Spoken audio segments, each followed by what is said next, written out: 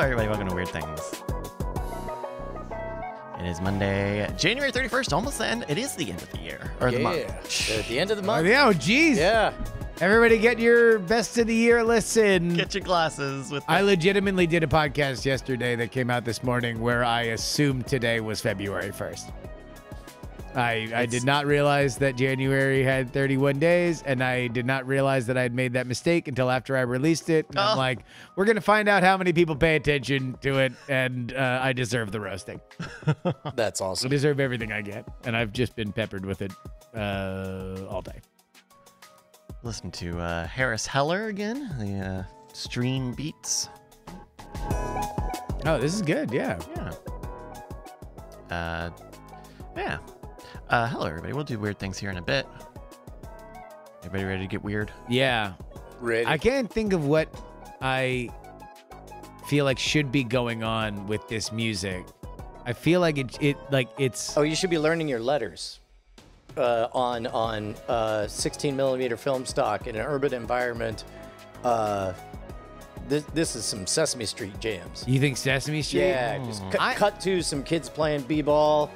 I think it's like it, it it's a video game, but it's a mystery. But all the characters are animals. Oh, like so, it's kind of a We're building a town. We're building a town. You think you're building a town? Mm. But we don't know what's coming. Yeah. oh, this is the good days. These are Oh, the this is when times. everybody's getting along and like you know, you're finding out that like, oh, I have a pickaxe and you have I don't know, a thing that somebody with a pickaxe would need. a, a- a Shovel? shovel. A shovel, yeah. You're like, yeah, I'm I'm A the shovel guy. and- yeah. That's it. an ore rights contract. Exactly. An ore uh, yeah. You have a pickaxe and I have an ore rights the rights to the contract. ores at this. And I'm unionizing. Alrighty. Uh, very cool. I think we are uh, uh, good to go on this side. Oh yeah. How are things over in Breakfast Station? Good. Okay, good. Good. Alrighty. Uh, breakfast Station, a completely new term that we've never used before, but we all got it. Have we wait, is that a thing that we've used before? No. Oh good. no just- That's good. I just like off it. the dome. Breakfast station. off the yeah. dome. Hello. Man, we can merchandise that. breakfast station T-shirts Uh-huh. and We could mugs. franchise that. yeah, Open your own breakfast station. Uh, only a million dollars to get started. That's right. That'd be that'd be wiz- wizard guys. That'd be wizard.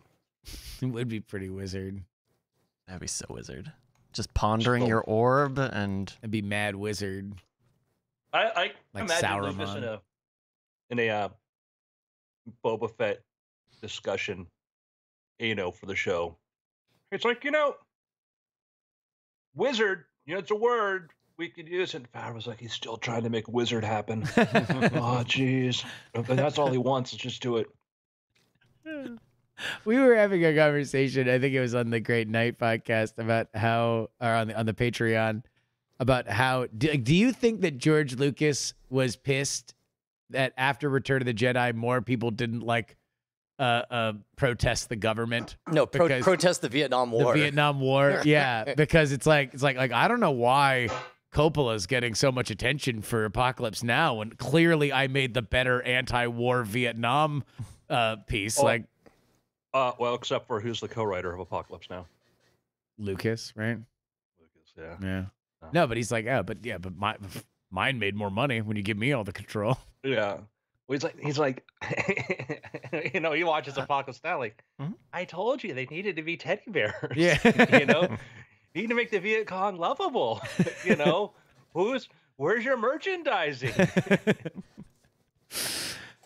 all right, let's All right. get weird. you ready, Andrew? I'm ready. All right, I'm counting in in three, two. Hello and welcome to the Weird Things podcast. I'm Andrew Mayne, joined by Justin Robert Young, Hi. Brian Brushwood, Ahoy hoy.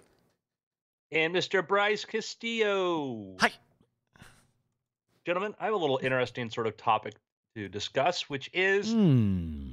there was an article that came out about how voice synthesis is becoming really good, like really, really, really good. And some people have been using that for audiobooks and submitting it to the Audible store, which you're not supposed to do. That's in the the the guidelines for Audible, is you're not allowed to use computer generated voices.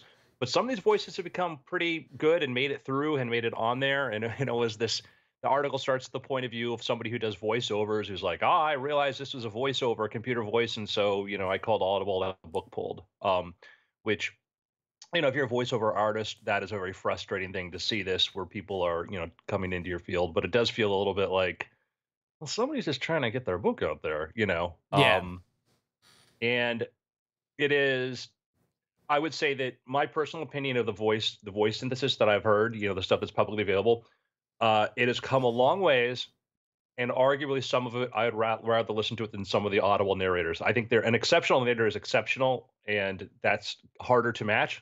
It'll be possible someday, but uh, there's a lot of low quality human narration on Audible. And it's like I don't have a problem with it. I'd like to hear your take. Uh, well, uh, what's amazing to me is that there's some incredible low quality audio that isn't even allowed to be on Audible. Like, for example, uh, the there's a Peter F. Hamilton uh, audiobook that I listened to, um, and it was only years later that I tried to find it that I realized it was not on Audible. In fact, it was not anywhere. All the comments I could find were that, uh, man, this should really be an audiobook. And I'm like, but I definitely listened to the whole thing. And it turns out what I had listened to was a bootleg. Uh, this is back in my pre uh, reform piracy days of, uh, of, of, of books uh, uh, read for the blind, which is a totally different Oh, yeah. service than Audible. And it's like, meanwhile, uh, uh, if like I understand that that a brand connotes a certain level of quality, and maybe Audible or Amazon is uncomfortable. Like we'd rather not have it than have it be subpar quality, and we are afraid that robot voices will sound that way. But it's like make make a new vertical, make a new uh, sub brand or or something. Call it call it uh, uh, uh, barely listenable. Yeah, I mean, I, I I- think that there is obviously uh, uh, with the tools to be able to make things that are of a certain level of quality. Then I can understand from the author's perspective wanting to get it out there. I very much understand from the voiceover uh, uh, artist idea that that you want to keep the robots at bay for as long as you are are able to. You know, before we started, I saw a thing that was uh, uh, suggested to me on Reddit that was like, uh, if the whole world went vegan, there would only need to be one fifth of the amount of farmland that we currently occupy. And it's like, and it was written in a positive way because it's Reddit, but it's like, man, I know a way to have every farmer be very, uh, uh, uh, you know, crusading against the concept of veganism. If you're going to push those ideas, everybody looks out for number one when it comes to being able to do this for as long as possible. I don't, I don't uh, uh, blame Audible though for keeping a certain level of, of of of of quality there. Even if I do agree with you, Andrew, that like, hey, especially for some books that are that don't have the uh, uh kind of budget for a, a a audiobook like would i like the option to convert my you know hit a boop button and just convert my ebook to something that is procedurally read yeah Uh, do, do they not have that feature right now? If you get a book on Kindle, is there is there no have a robot read this to me? i think there is right They they'd had they'd had a feature in Kindle and then it got pulled because the publishers are frustrated because their argument was this impedes upon audiobooks and Amazon's argument at the time was no the quality's not that good. Nobody's going to prefer this over a human voice which I'm like you know at the time and like I'm like yes in 2015 or like you are correct. This will not be correct going forward. And so publishers were fearful of well, if this gets better, then yeah, it could negate the need for an audiobook because it will get good. Like it is the voice quality. If you go look at what can be done now, is accept is getting better and better and better. And you can listen to passages. And I challenge people sometimes. I'm like, I will find. And again, I'm not going to compare it to like great people like Scott Brick or, or, you know, a lot of them are great. They just don't put everything into it sometimes. But like, put it compare it against somebody's great. But there's a lot of audible there that you go like this was recorded in like one shot and the person didn't even enunciate And I could compare that with some of these computer generated ones, and I guarantee you there'd be a lot of instances where people prefer the computer generated. Uh, I'll, I'll, tell you one instance uh, that is automatic code for, well, I, I would say 80% of the time, this is automatic code for, man, I wish it was a robot, and that's called read for you by the author. Almost universally, I, I skip those audiobooks. You know, there's um, ah, man, I, and his name escapes me, but he does great work with nonfiction, uh, often covering entertainment and and television and movies. Uh, that is all done from the first person perspective. So like he writes intros and outros to various like stories, and then from there it is all the like raw quotes of the people that were involved in it. And so he's done stuff with ESPN and CAA, the beginning of the agency. And his new book is about HBO. And I'm, I'm looking forward to listening to it. But if it's like his other books, there's one male voice and one female voice. And they just kind of go back and forth reading all these different people's uh, uh, stuff. Where I could imagine in a world with synthetic voices, you could have distinct at the very they're not they're not going to be impressions of these famous people that they are interviewing right, but but you, but could, you could at least keep have, in your head yeah like slider bars for for uh, various uh, uh, dialects or, or, or hints of accent just or, something so it's like you know because oftentimes these uh, uh, stories include five or six people that are all telling conflicting stories and sometimes it's weird for the one male voice to read two sides of a story and you're like oh wait was that if you if you're kind of zoning out like you often do with an audiobook, like you're like, oh, was that this guy or the other guy? I don't know.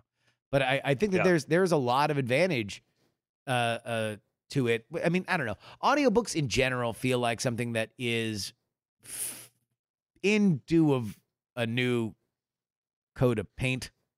Uh, uh, it very much is just a scaled up version of books on tape.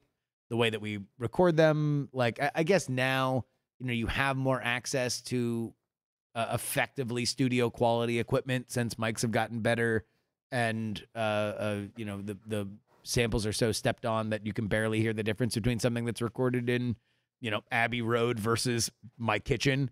But like uh, I, I I just kind of feel like maybe the entire genre does need to just understand and take in a, a, another you know where, where where the industry where the audio industry is right now and one of the, one of the challenges that I think people don't realize is to produce a good quality audiobook is expensive. You know, you could look to yeah. putting in 10, 10 grand to get, you know, get a good quality narration to put all that together. Technology could actually lower the cost of that tremendously, tremendously. I I don't know this to be true, so I'm not going to tell people who do or voiceover artists and be like, "Oh no, relax, it's going to be fine." My gut is, "Hey, listen, if we start using this technology from our audiobooks, because right now you tend to focus in that world of like, well, I was up for this job or this job, and now machines get this job. 99.9% of all books are not in audio. They're not in audio. Yeah. And I still started going back out to Kindle and print because I couldn't find things. I couldn't find stuff. And even though audio is my preferred way to do stuff, I think that if this technology were available, there would be a lot more audio out there. And I think there would actually be more demand for voiceover artists because, two, is like, let's say I do a book. I took, uh, let's say I did Public Enemy Zero, one of my older books, which I had a fantastic narrator, by the way. I don't know. Yeah, but, it seems like it was there was already an audio book of that. But at but at the time, I wasn't. I didn't know you. I didn't have you know what you know. I didn't have a friend that had a great voice. And let's say I was able to do a computer version of this. And let's say the computer did a great version, but I'm like, oh, you know what? I it's successful. Maybe I want to do a multicast version of this. Yeah or maybe I want to do I'm going to do the sequel, and maybe for the sequel I'll go get a human actor or something because I think I can get somebody can bring in. I could pay somebody a lot more money who could do a great job. I think that the fact that celebrities do voiceover tells you there is a value to having a human in, in there, even though those celebrities I think do often do some are great, some do good, but they just have a neat voice, and you like that. But I think a lot of your voiceover artists are way better than your average celebrity narrator. But it just shows you that there are places where we love to have a human. We love to have a human do it. I, I think audio even is, if the human isn't as good. Audio is such a personal medium that I do think, you know, uh, uh, even where we are on the on on on the technology curve, we will want to connect with a very well done audio presentation by a human more than a machine for the for at least you know, uh, uh, I'm going to say the foreseeable future, which is what I'm going to double in for five to six years. Uh, that being said, I mean, I think there's no reason why this has to be an either or. Like, there's no reason why you can't have a dominant voice, especially in some stories that are first person or that are largely reliant on narration that also use synthetic voices for some of the character stuff or uh, uh, uh, things like that to make things richer. See, I'm I'm already over the hump. Uh, it the synthetic voices. Uh, let's say I'm out for a walk or a jog or something like that. Uh, I think New York Times has an audio version of every single one of their articles. That uh, uh, while I'm on the move, I could just hit play, and that article's done. I'll walk for a little bit, find something else, hit play. Uh, it is maybe three or four sentences to recalibrate my brain, and then I'm no longer paying attention. Well, but I I'm guess just it's as though I'm reading it. And I think so. So there is. Let me let me let me draw a line. Uh, when I'm doing research for, let's say, like Raise the Dead, where none of these books are in are in audio, right? Like, and I have, uh, for whatever reason, my brain is just too ADD to read things unless I'm very much focusing on them. I would love for all these things to be in audio, and I don't care if it was uh, Mr. Roboto reading them to me. Like I just need the information in my brain because it's the information that I care about in performancy kind of stuff. So it's like for nonfiction, yeah, I, I think that that unless the the the narration is distractingly awful and it's pulling me out of the story, you can get away with something a little bit more stretched out. For Game of Thrones, like for me, like like Game of Thrones was an audio experience that I treasured because of the the performance of it. Until the fifth book. And then, but and it sucked, right? Like Right, it, well, it, it, and, and it was the it, sa- it it was the took same, something off. It was the same guy, but he was just old enough that he forgot what He- voice goes where. Apparently, this was the voice of Daenerys. yeah, Yeah. no, it was very weird. Very odd. I I would say there's a and that's one of the challenges too is that there have been audiobooks that like authors they put out an audiobook and I listen like man I cannot this voice does not work for me. It's really distracting. I I'm not going to be able to listen to this. And sometimes you get the reviews and you'll get like love the book hate the performance. And part of the problem to protect artists is like you have a contract where you put a book out and often it's not easy. Like if you use like one of audible like find get a narrator through audible has a program called ACX if you find an, a narrator through there, you're kind of locked into them. And if they do a so-so job and they deliver, and I have friends that have put books out using that that regret it because they have the narration was sort of subpar, you know, human doing subpar narration, and they're stuck with that forever or until for some long period of time. And I think that's that's another sort of frustrating thing is that the quality of the book can be affected, the audio version, and you can get locked into it where Ah, it's it's a challenge. I've sent Bryce a link though. Uh, Google for Google Play has a thing that will automatically format a book into uh, a narrated version of this, and we have a sample from Dracula. If you want to hear this to see sort of the quality of this, is just like a free conversion system Oh, that you can use with this. Uh, let's see. Best. Here we go. Let's listen to Archie say something. Dorothy lived in the midst of the great Kansas prairies with Use Uncle the Google Henry. to Dracula example. Uh, o- okay. Uh, Yeah. yeah. Wait, hey, uh, Bryce, where's Dracula? Give me Did I send you a link? Dracula. I didn't send you that link. I'm sorry. I have a link Hey, to- hey, I want to suck your blood. This is Dracula. I'm I'm on- Powered by Google. yeah. Hey, I'm from Transylvania. You invited me into your phone, and now I can come in whenever I want. Yeah, I'm I'm Bram So, Stoker's idea. yeah, that- I'm Dracula. they have like they have like the sample like there's you'll see some of the different samples and some of them there's a couple different there's like wave like a couple different texts for using that um and the dracula one they use i think a really good encoder did, they, did the link not work there or i'm sorry I I- mean, uh, what did i I I don't. I, I- I don't know what it is. I'm on the page that you sent me to, and I don't Oh, see Dracula. right, let- Hey, here. buddy, I'm Dracula. Sorry. Hiya! so do it do a search for uh, google play dracula i'm sorry bryce i i I was trying to trip him up because it's frustrating how good he is at like getting the right web page. Like Yeah. you, Well, like, I, I think you know, I you, was I think I think you finally figured out the way to trip him up is to to him. insist that you He's to gas fraud. gaslight him Yeah. that you sent him a link. yeah. Uh, Uh, let's see. Okay, the audio book of Dracula from Bram Stoker here from 2020. Um, it should be Google Play. Uh, let me see. I wonder did they pull the link from that too? I wonder if that was uh because like they show that up in the upper caption right there, like you see the auto narrative books, and they show. Oh, it's it's the if you go to back to the page I sent you where it says listen to an audio to convert, just click on the link.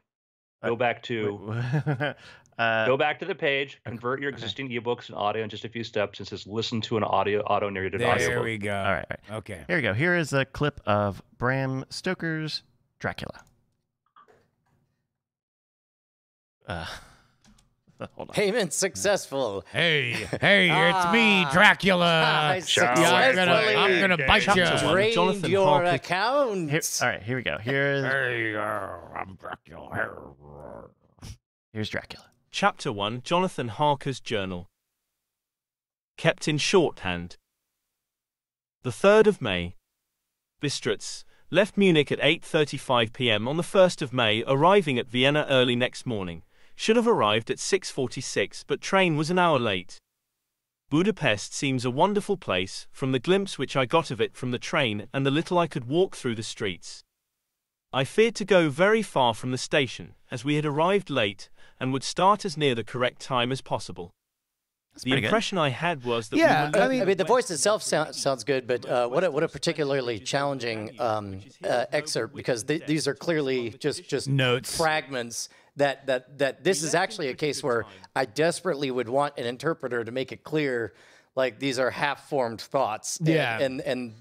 Uh, and uh, if yeah, uh, I, I I may be walking back my enthusiasm. Well, no, I mean, I, I think that that there really is, and again, this this kind of comes to the evolving medium of audio, right? Like we we had very very defined lanes for audio entertainment for years and years and years, right? It was, you know, music, which is its own thing, uh, audiobooks, radio, Right. and and, and like old radio is mysteries. radio is ephemeral audiobooks are things that you buy that are very expensive and they come in many different things so you are very dedicated to listening to it it is a specialized audience and now that all these kind of walls have fallen down i think that you're seeing more natural you know uh, different genres where it's like for dracula i ain't never read dracula would i like to just mainline dracula into my head as fast as possible and play it on 3x speed uh, and make it as easy and free as possible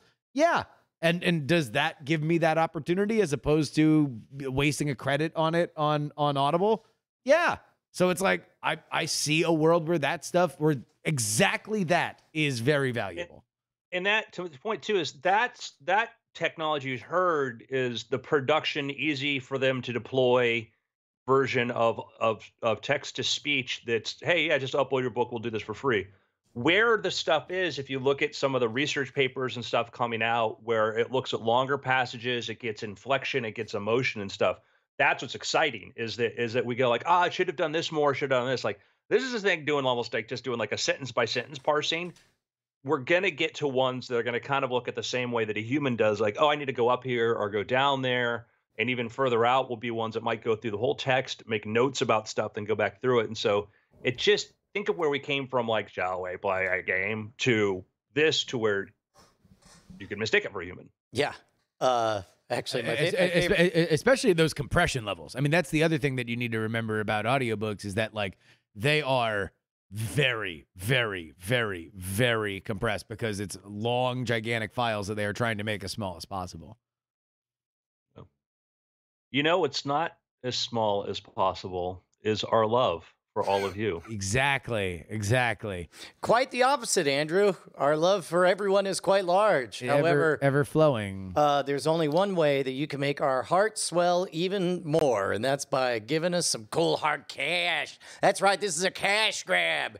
Cash grab. Head on over to patreon.com slash weird things and get in on that cash grab. Exactly. If you become a patron, who we love, we love all of you very specifically. So uh, you go over there, you become a patron, and you uh, uh, make sure that you get the After Things podcast before anybody else. And mostly, mostly know when you rest your eyes at night that we love you.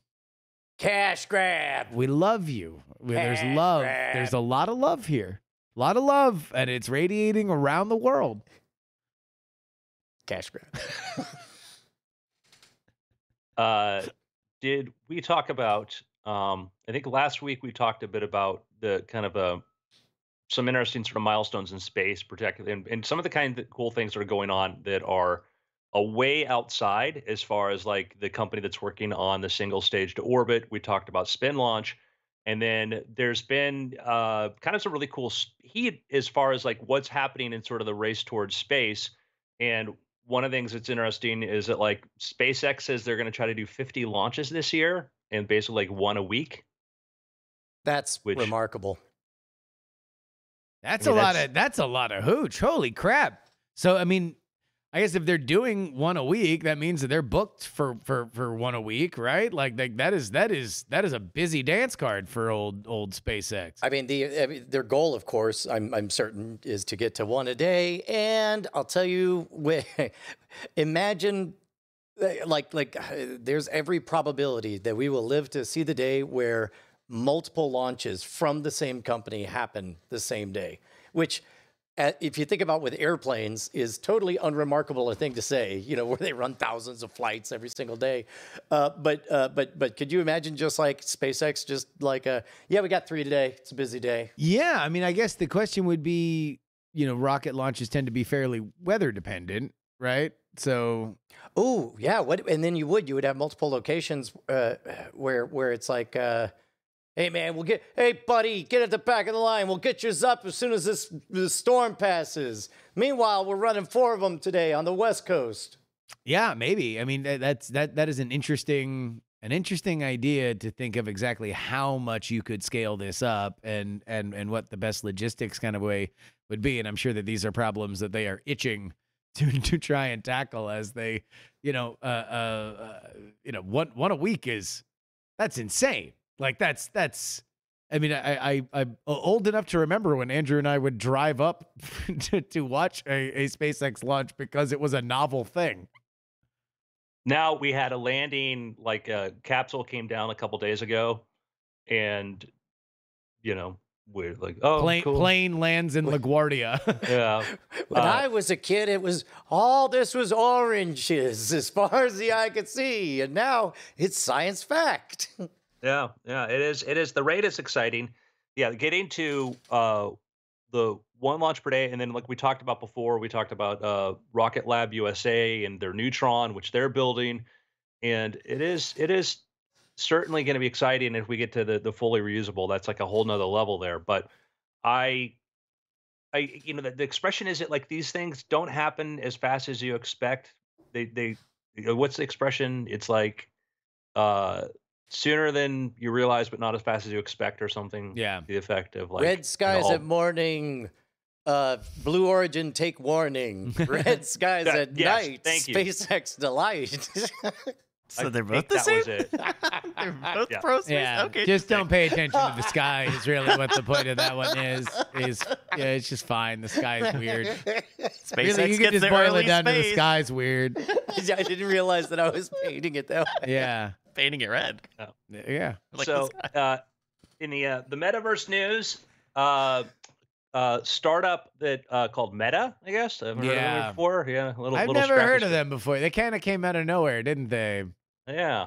They uh they Facebook the, the the company formerly known as Facebook everybody has to use that joke now. Um uh basically they announced 3D avatars that will work across Facebook, Messenger and Instagram. So the idea that you could have your avatar that's going to be you and so whatever platform you're on will be there. And Yeah. so that's part of their idea of how they want to, you know, unite one world of 3D images and world together under one company. Uh, I'll tell Look you at- what, um, you know, uh, th- this is another case. I'm sort of like, you know, keeping a radar out for uh, legitimate uses for Ah! NFTs that aren't. Oh my um, God. Uh, that, uh, where's the avatar? I thought you said this is 3D generated. All right. For the audio listeners, Brian, what are you looking at right now? Uh, I, I, uh, uh, my nightmares.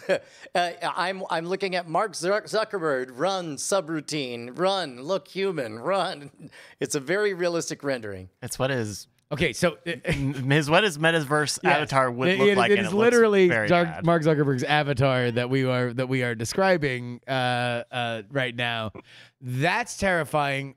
Uh, God, what is with Facebook that they can't bring in somebody to say, "Hey, if you want to have avatars that will chase people all around all of your products and you want to pioneer this, can you please make them either pleasing or wish fulfilling?" like like this is like who wants a dumb dorky avatar to chase them all around? Uh, it's the the the people who live on Pandora. That's who. Yeah. I regret nothing. We noticed. Yeah, yeah, we know, we know, Brian, we know. we're aware. Uh, so it's a very interesting take because, like as you pointed out, like they're they're kind of the, they're the goofy sort of thing, like the Apple ones, where the you know the difference between the open metaverse and the closed metaverse, and the thing that they're pitching sounds kind of like the closed metaverse, which is well, we control it, and you use our avatar selector to choose your avatar. Oh, Yeah. can I do whatever I want? Yeah, you can do whatever you want, as long With as it's one of these select. Yeah. Oh, can I make a glitchy thing like this with an Unreal Engine, you know, object character or whatever? No, uh, that's ridiculous. Why would you do that? And I think that's sort of the challenge. Is remember, you know, there's, there's a system we still use where you have like your online ID, where you use like, a, you know, your photo pops up when you type in your email address in some places like this, which was an early sort of way to kind of like create a, a, a presence online through different places. And it always surprises me sometimes. I'll go create an account and already has my avatar from like 15 years, my image from 15 years ago. I think that's exciting. The idea of getting to the point where you can customize it and you could load your own, you know, 3D object model or GLTF, and those creepy eyes are just freaking me out.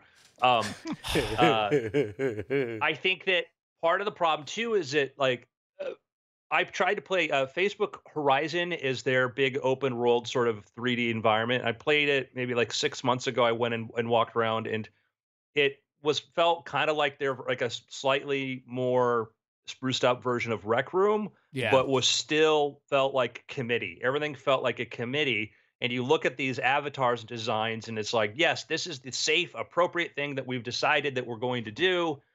And you know, to the point that you hop into Facebook Horizon, and they're immediately like, here's the panic button. If somebody makes you uncomfortable, press this, and then you get pulled out. I'm like, Boy, that that image of pelvic thrust in 3D modeled uh, Mark Zuckerberg is not something I needed in my life.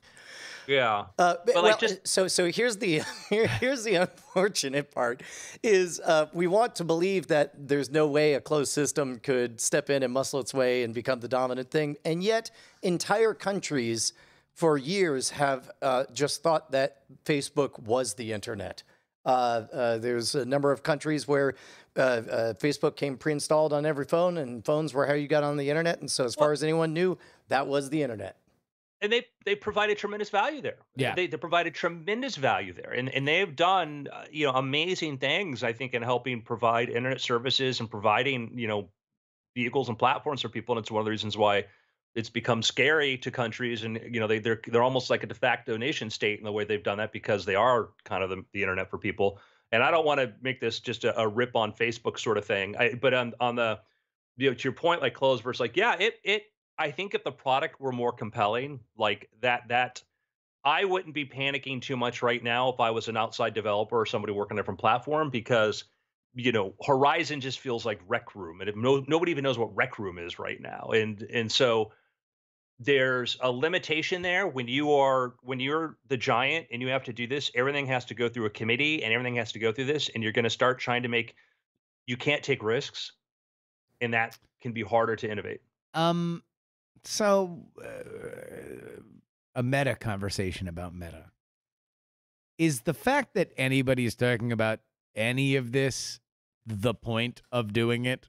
That that if the conversation is about Facebook slash Meta's weird avatars and their dumb eyes and uh, the fact that Horizons is kind of lame and they changed the name of Oculus to Meta, like uh, is is that taking away from the idea that oh are they a anti-competitive entity that needs to be broken up which was part of what some of the popular conversation about them was before they they did the whole meta rebrand and we want to do the met we want to pioneer the metaverse and and bring uh, usher in this this whole new idea. Hold on, am I am I hearing the proposal is that this is like some 4D chess where it's like they're doing it bad on purpose so that people just keep on talking about how they'll not Not- go in it, Not doing it bad per se, right? but let's say they understand that no matter what they do, there will be a cynical gaze cast upon it from their So- so- perspective. So, yeah, so so uh, so it doesn't matter how good or bad the dance is, as long as they're dancing. You're talking about their current dance, not the speech they gave five minutes ago. not about, not yeah, whatever they do, do not talk about leveraging ad money across different across a billion people. because Yeah. that's what actually makes the money. It would it would hurt them if there was anything, any kind of regulation done to that. And so let's put all the attention on this speculative thing. I- we are we are the hacker organization. We want to move in this different direction and pioneer this new exciting thing. We renamed our company uh, based on this vision. Oh, is it Old, a dumb name? Oh, times. let's talk about how Old dumb the name is. Uh, boy, I, I think I want to subscribe to your newsletter. Uh, Mostly because uh, painting a gigantic, cynical grand conspiracy is pretty. I might as well just label it brushwood bait Yep, and yep. you know put put a put put a big box over it and wait for you to float over like a cartoon character following a pie scent. Maybe, maybe I could think of other things though besides putting out, hey, we want to build another co. We we want to be the one that unites this next world. We're we're already we're already the the big giant here. We want to be the giant in that too. yeah, Um, I I mean, my point aside, like I get frustrated, like, but the whole like the idea of breaking up Facebook is confusing to me. Like, I don't use Facebook. Like, I never really go on there. I maybe I only check Instagram just every a week or so, so my friends I can like something, so somebody think I'm alive. I get by without now they have an advertising ecosystem, but you know Yeah. I don't even use my Quest that much. Like, you can get by fine outside of Facebook. It's true. It's really true. uh, You know, it's not like the Well, well uh, the the counter argument I believe is uh, there's somebody out there who plays a game uh, of of seeing how long he can go without using Google, and you would think like, oh, don't use Gmail. But the problem is, sooner or later, somebody emails you from Yeah, Gmail. You know, and yeah, but that and so likewise the, with uh, with Facebook, uh, you uh, uh, uh, for example on scam stuff, we, we haven't done anything with it because I, I hate the way their their system works. But but a whole bunch of our uh, individual product pages are pixeled. So uh, Yes. so uh, if you if if somebody else, uh, it, it's yeah. I mean sorry, go ahead. Yeah, but that's to me like to, no offense, but to me that that point in person that, that's that's difference between somebody else making a choice. Like if everybody uses Amazon S3 buckets, I I don't want I want to go Amazon free. Cool, they're a big. You could use another storage provider if you're the company providing the service. If the company providing the service, you could say, oh, I Right. want to avoid companies that do that. Well, good luck, but Yeah. that's the company's choice, Right. And those companies have options. Yeah, and and, and I, I think we're on the same page. Uh, and in fact, I'll bet we're on the same page that half the people saying break up the monopoly of Facebook don't even know what they what they mean by that. All they know is company big, uh, break up, and I, I I don't know what that would mean. And and for example.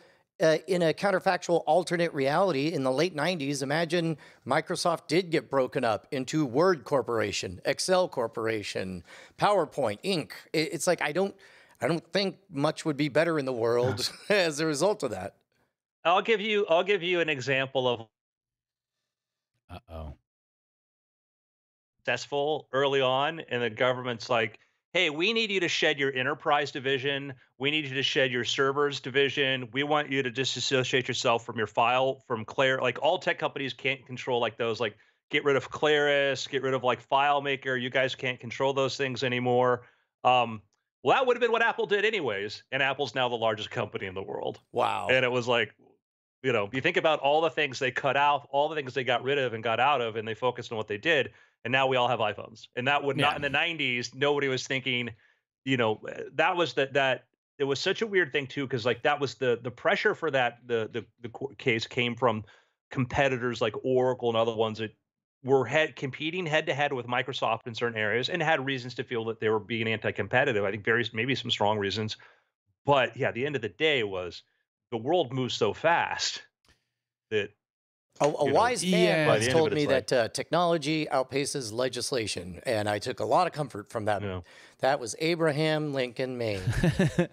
yeah, I mean, I, I think the idea of seriously trying to break up Facebook is largely a politically driven talking point um, because Facebook has you know, become a thing that the public likes to deride because we're frustrated and scared of it.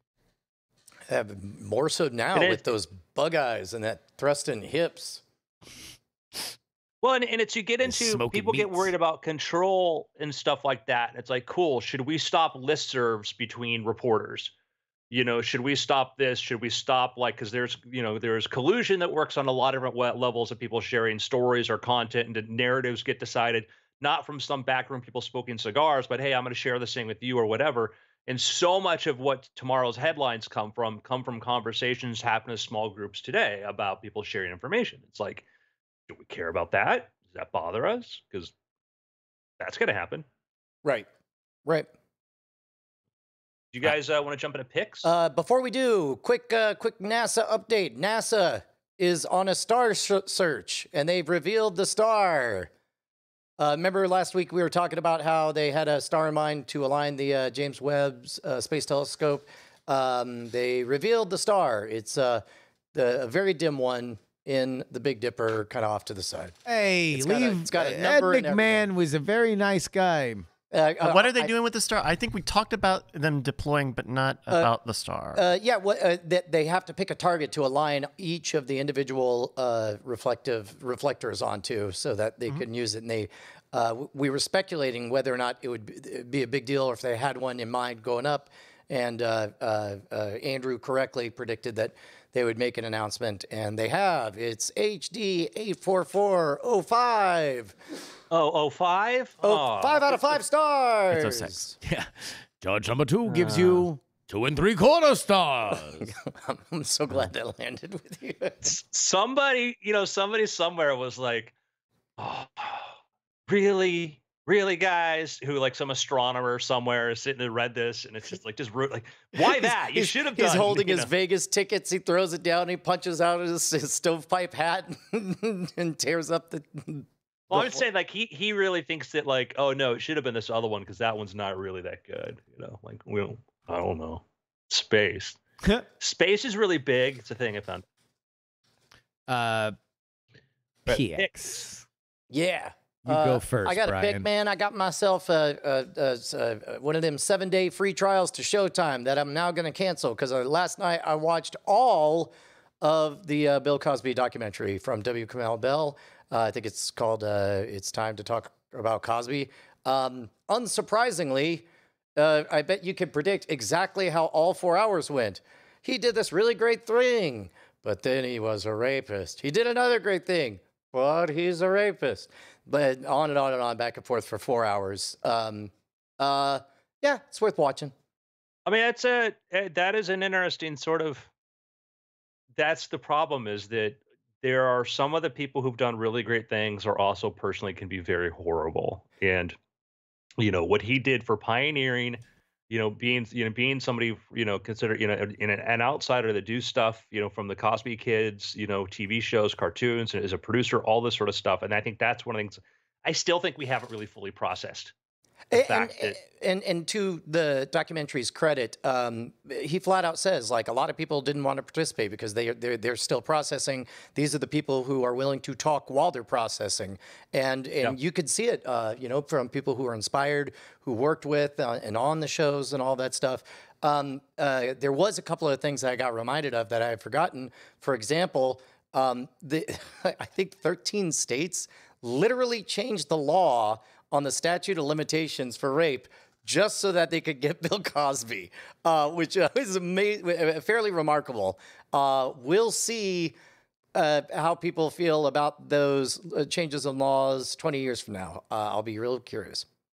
especially rapists we'll be curious to see how they feel Yeah. about it 20 years from now. well, and also as the definition def, definition of what constitutes rape changes and uh, look, I, I ain't gonna wander in these waters. Watch this, watch this documentary. Says instead. the guy who literally just wandered into these waters. Hey, I, I just, hey man, I just pointed out that there's a lot of water just out there. cannonballed in and say, "Hey, I'm not here to wander in these waters, guys." Moving on, I y'all. I, I, I, I said that's a lot of water. That's it. yep, it's water, guys. Actually, lot it, of sou- water. it sounded more like. Um, I have a pick. I like Wes Anderson movies. uh, if you like Wes Anderson movies, you're gonna really like The French Dispatch. Uh, specifically, if you like Wes Anderson's humor. Um, you know, the last few movies that he's done, I think have have been you know like kind of overly uh, uh sunk into like like moonrise kingdom is is something that like is so stuck in in his aesthetic and and is trying to tell a kind of dramatic story.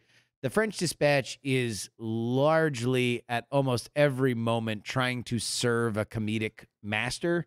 So if the idea of a Wes Anderson movie that is all about his American based francophilia uh, immediately repulses and disgusts you, uh, disgusts you, let me sell you on this. The if you've ever watched the Royal Tenenbaums, there's a character Eli Cash who is the comic relief for writing these hilariously overwritten uh, books that are just trying to use a bunch of words, you know, uh, uh, you know, like kind of like slapped together. Imagine that, but with three or, or four different vignettes, uh, where it is both celebrating and satirizing feature writing, uh, magazine or newspaper feature writing. Uh, it's it's really funny, and and there are there are lines in it that are you know that that that that stick with me. The the performances are are are well done, and uh, uh, I would I would recommend if you enjoy writing, like it's it's a must see. If if you just like to laugh at Wes Anderson stuff, then then I would recommend it. Wildcat. He's on mescaline. um, I I don't think I I don't uh you know I I watched the first few episodes of um the and now I need to find what it's called because it's a long dumb The title. the podcast series on procrastination. Yeah, I, yeah, I would check that out too, Bryce. no, I watched the first two Oh, episodes one- of yeah. The Woman in the House Across the Street from the Girl in the Window, uh, which is a Netflix satire slash send up of like a, a a rear window type of concept. But I don't know. I I it's it's it's it's interesting. It's not like haha satire, right? I don't think it's like ha So not funny. Not funny satire. But, but, but call it. satire doesn't have to be funny though necessarily. It's Yeah. not parody. I, I- I think the big thing for me was I thought that this would be a movie because I don't know how you could do eight episodes of it. And after the first two episodes were done, I was like, why isn't this a movie? I don't know if there's eight episodes worth of stuff here, but I think it's it's it's an interesting conceit, and I would like to learn a little bit more about it. But basically, Kristen Bell uh, plays a woman who is Is an in alcoholic a house across, the street from, from, a girl, girl at a window. and she sees a murder, and she no oh, one that's right. her. Yeah, because she's uh, She's uh, a- boozing it up. She can't tell what what she. What? Oh, she can't remember Yeah, what yeah. she saw, Really? what she did. Oh, say. 'cause- yeah, because she takes because she like there's also a back a dark backstory of what happened to her kid who is obviously dead and what happened to her husband who is probably obviously dead. Um, and so it's it's it's strange. It's just it's a strange uh, take for satire because I don't think it's like it's it's really tr- I think it's really trying to be concept before jokes. So that's on Netflix. Andrew. I I have a pick, and I want to be very first foremost say that like there are things that I'll be like, oh, I got a bad feeling about this, but I love to be surprised. I love I love to be wrong when it comes to entertainment. That's the only place I like to be wrong. Let me make that very clear. Otherwise, I do not like to be don't like to be wrong. I don't like what it's point, pointed out. That's right. Yeah. Um, don't want it it's acknowledged, etc. But I do like to be like, oh, this, and I watch it and go, oh wow, that was great. That was I love to be surprised. I really enjoyed Hawkeye. I really enjoyed Hawkeye. I Oh. and I remember you guys talk about the first couple episodes. So I didn't. I was into them. I I'm like I'm watching a comic book, you know, TV show set in the Marvel universe. Uh, it's I've never been a Hawkeye fan. I've never really thought the character was what's the word I'm looking for?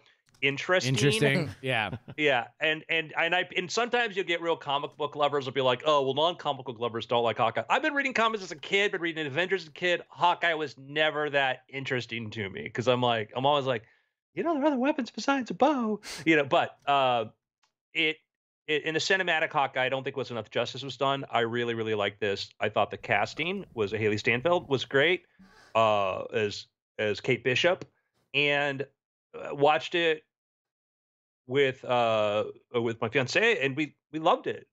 We Well, enjoyed uh, it. You, I- you know, you know, I, I wonder if that is a series that gets the binge That, bounce. that's exactly what I was about to say. Is is it was torture to watch it week over week. Uh, although it did steadily improve. Every single episode was better than the previous one. So I suspect that as a binge, I would go a touch above torture for the first few episodes. I, I, I, I don't- know if they were torturous to me, but I do think that there was certainly enough in them that I probably would have been excited to see it build if it were available right after. I Yeah, want. I Hmm. uh, to compare like Falcon Winter Soldier was tedious and just That- silly that and was- just it just drove me up the wall. Loki was like turned into the most extended convoluted Doctor Who episode I've ever seen and I just kind of got to the end of that and I'm like this this was some of the direction in that which was just annoying of like what this is making it not better. This really enjoyed action sequences things like this. I loved it better than Black Widow. I loved it better than any Marvel movie other than Spider Man that's come out in the last year and a half or so. So, you know, Yeah, I, I think it Mm. it did a very good job of creating a fun world with interesting characters that you like to see interact with each other, which sometimes is is not apparently the point of uh, superhero shows or or Yeah. movies. Uh, uh, bafflingly, and this one, like everybody that was there had a point. Everybody Mhm. had a thing. Everybody had even if they were were maybe a little on the nose, it it they they existed for a reason. And and uh, uh, I think once they really start spinning the goulash there, and all these characters are kind of interacting with each other, it was it only got more fun and exciting. Uh, So, quick question uh, uh, uh, b- before we, uh, I, I just want to sneak this in. Bryce, did, did you ever see Angel Beats, the, the anime?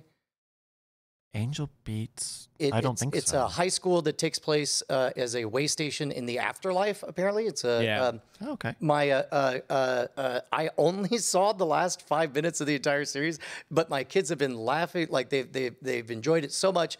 And I walked in yesterday, and um uh and pe- both of them are bawling, and they're like, "Dad, shut up! We're crying at the end of an anime." And I and, and I could tell that this was some serious business. So I sat down and just watched the last five minutes, and uh, and then by the time the credits rolled, I was bawling as well. And it's like, uh, um, eh, I'm, it, it, I, I didn't have to see anything from the beginning. I was like, oh yeah, no, I've seen The Good Place. Uh, this is this is very heartrending. Oh, uh, uh, so anyway, uh, you, uh, uh, uh, plug for that. Uh, it's on Netflix, by the way. Cool. Angel Beats. that's great. Nice. Very cool. It's been weird. Alrighty, good stuff, everybody. We will take a second and get ready for we will rock after you. things. we will rock. we will be rocking you in We'll 60 seconds. rock you. uh, uh, I'll BRB. Please do. Please Justin, do. Did you watch? Do rock me. Did you watch any of the um, the foo balls over the weekend? I did. Uh, pretty good games. Uh, Pretty good games. good games. Uh, how are you feeling about Le Super Bowl? Man, I'm into it. Beng- Bengals and Rams. Bengos, the Cincinnati Bengos. Uh-huh. Have you have you seen that internet meme? No, the Cincinnati. Yeah, this just Google Cincinnati Bengos. Okay, let's see. Uh, uh, what is this? Uh, so uh, if you if you if you image search it, yeah, there we go. Oh. The Cincinnati Bengos. I I think it was a kid who did a drawing and then got made fun of because Uh. like at school, and then the internet was like. Like no, this is the greatest thing ever, and so now it's become the rallying cry for the Cincinnati fans Wow. on on Reddit specifically. But Cincinnati Bengals. I love it. the Cincinnati Bengos. um, Uh, that's that's that's good. Uh, but no, yeah, this is great. I love it because I'm Steelers fan, which normally would preclude me from rooting for a team inside my own division going to the Super Bowl. But I weirdly don't hate the Bengals in the way that I hate the Browns. Mm. And it embarrasses the Browns even more because this was supposed to be their season. Yeah. Uh, and the Browns let go of Odell Beckham Jr. Uh, and then he went to the Rams, and now he's awesome. and now he's playing in the Super Bowl against the Bengals. So it's a real humiliation for the Cleveland Browns, which makes me happy. and uh, uh, yeah, no, this entire playoffs have, like just ruled. They've been just- exciting. They've just been And, like, like- every game has come down to the final two minutes, and so it's like that's great. We just need we just need an exciting Super Bowl. Yeah, absolutely. When is the Super Bowl? oh goodness, who knows? Uh, When is the Super Bowl? oh yeah, let's see what Siri says. Oh, the 13th. 13th. Oh wow, two weeks. That's my wife's birthday. Oh, I was going to say we should have a Super Bowl party, but it's my wife's birthday. Ooh. I don't know if I can get away with having a Super Bowl party on my wife's birthday. Maybe if you do something in the morning. Maybe you guys have fun in the morning. Well, we- we are going to have a friend of ours in from out of town. So, Mm. uh, also, I, I'm, I'm also leaving town on that Saturday to go to a concert in Dallas and then coming back. So I don't know. I don't know how much I can I can you might have spent it. all your coupons. Although, although uh, that will be, I don't know what the day would be. I'll have to look it up. Sunday, Super Bowl Sunday. No, I'm aware it's a Sunday, but that will be uh, the one year anniversary of uh, us getting the verbal commitment on the house down here. Oh wow. I oh my was- gosh. I was on the porch watching the Super Bowl on my on my laptop, uh, having already gotten the verbal commitment on the house one year ago. Wow. Oh my goodness. Wow. Um. Yeah. Wow. Yeah, but no, good, uh, good, good footballs, good, good football times. Yeah. Uh, it's a fun time to like football. Yeah. Did you Super need a break, Justin? No, No. I got a, I got an iron, I got a, I got an iron bladder, I got a whale's bladder in a tiny boy's body. Oh. Hmm. Okay. Hmm. Interesting. I'm Uh, a small man, a small man, not- but a very large not big, bladder. but a large bladder. incredibly large bladder. That's Uh, like when people uh, say like you got a big heart. Like I got like a big metaphorical bladder. Cold, cold, cold hands, warm bladder. Can't lose. uh, I'm finding the story on the Cincinnati Bengals. Yes. Oh yes, the Bengals. Apparently, it was a designer who's done this. He's got a whole site, and he just started making these crazy sports. If you go to concussionsports.net, Oh really? Is that it? he says, that, yeah, they show all these other like crazy logos. He, the the L.A. Whams. Oh, was And- this? It was this the guy on?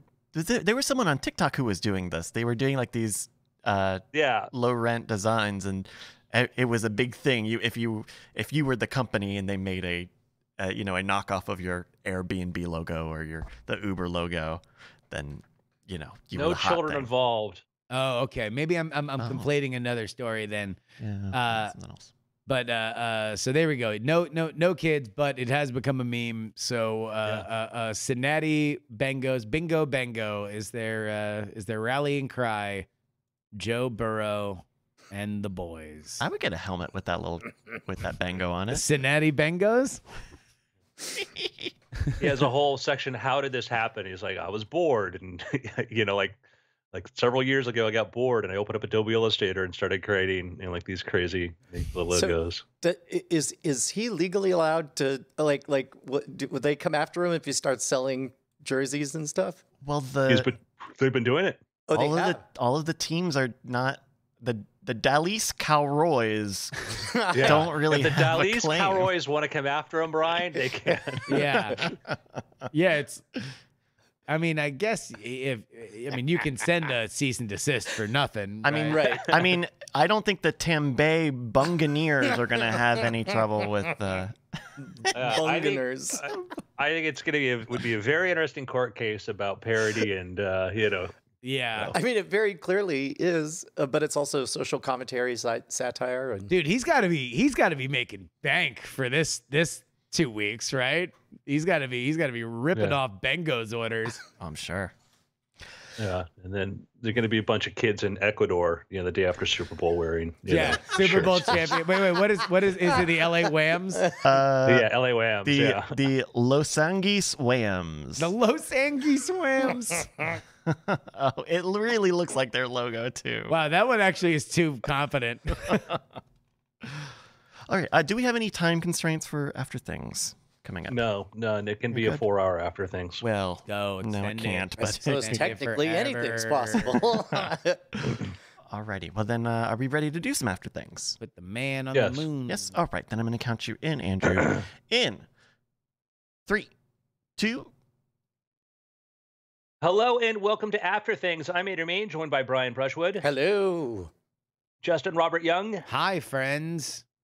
and Mr. Bryce Castillo. Hello. He likes to be different, so his name is Bryce. Yep. I have a Gentlemen. different name. Old different Bryce. That's what we call him. Legally distinct Bryce.